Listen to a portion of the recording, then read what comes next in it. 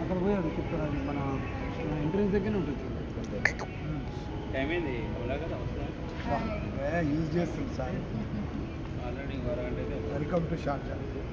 ఇప్పుడే. దిగాక ముందే